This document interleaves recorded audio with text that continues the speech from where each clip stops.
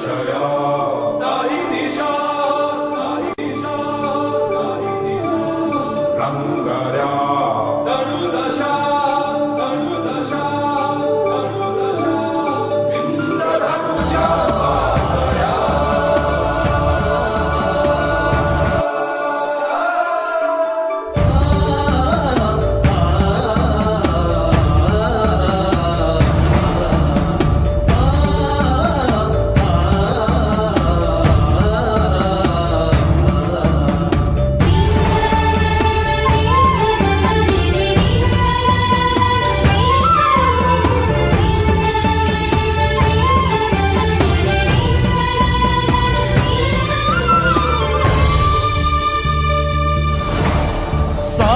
तव राग तव आस तव दङ्ग करिति भास तव छन्द तव गन्ध तव धुन्द करिति याहि जन्मी पुनः सजुदे